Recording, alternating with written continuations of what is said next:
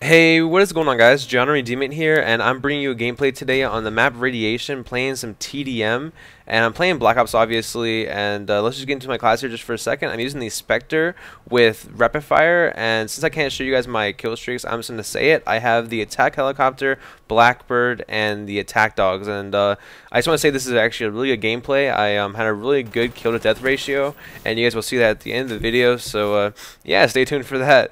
But um, I just wanted to tell you guys that I'm going to be switching a lot between MW3 and Black Ops for like my next videos for like over the next month, just because um, and the next month is uh, Black Ops 2. So until then, I'm just gonna be switching back and forth just to keep it as fresh as possible. I mean, I can't really think of anything else to do besides that. Um, I'm gonna try some other classes and stuff like that, but uh, besides that, I can't really think of anything else to um, to do to actually keep the game fresh. So uh, yeah, I'm doing the best I can. But um, anyways, I wanted to just talk about the Spectre here for a second because I haven't really seen a lot of people use it in the uh, past uh, Black Ops gameplays, I guess you can say.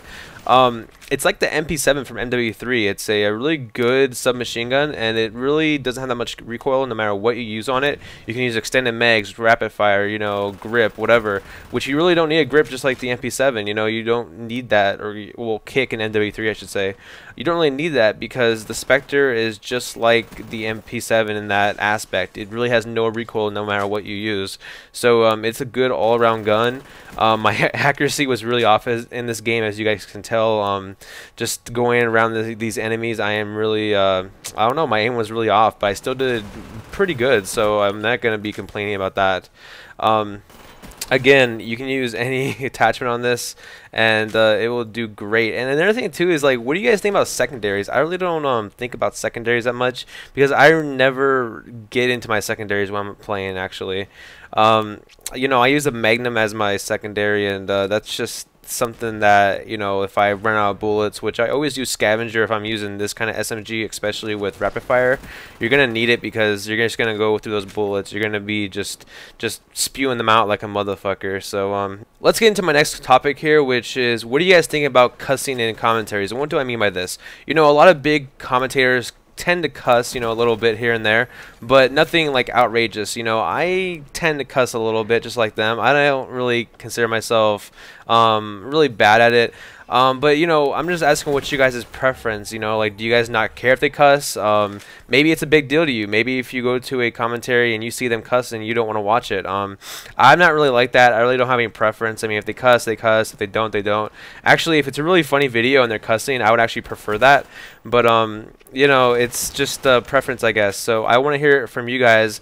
Is uh, cussing in commentaries really that bad? Because I've been really thinking about it. Because I was actually raised as a Christian, so um, I don't really. I within like the last two years, I've kind of strayed away from that. And I'm not gonna get into a whole uh, like argument about um, you know just religion and stuff because that's just gonna cause a lot of drama. So uh, I just gonna I'm just gonna stick to what I know. So basically, I was raised a Christian my whole life, and uh, I would say like the past like two and a half years, so about the same time that I've I've had Xbox, um, I have turned into a, a really bad uh, example, I guess, for Christians. Or I don't know, I don't know what to say. I don't know how to like describe myself as a Christian. I said I would say I'm still like on good terms with God because I don't really um I don't really say his name in vain, but then again, I'm not gonna get into this. I'm just gonna say that uh, I say every other cuss word though, and I try to keep it to a minimal in my commentaries. But uh, you guys know, in Call of Duty, everybody rages. You know, you have eight-year-olds that are cussing like a fucking sailor. So uh, there we go, right there. I just said it. See, I that's the thing. Like when you get so accustomed to cussing all the time, you just don't know when you do it. Like right there, I did not plan on doing it. It just came out.